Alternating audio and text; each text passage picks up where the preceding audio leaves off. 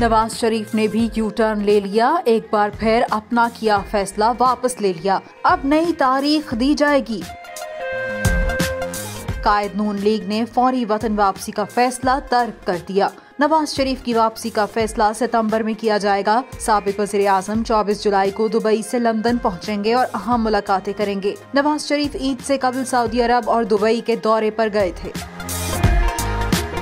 इससे कबल इतलात थी कि सबक वजी अजम की जुलाई में वतन वापसी का कभी इम्कान है। सबक वजी अजम की वतन वापसी से मुतालिक मुतद दफ़ा तारीखें दी जा चुकी हैं। ताहम कानूनी पेचीदगियों के बायस वो वतन वापस नहीं आ सके।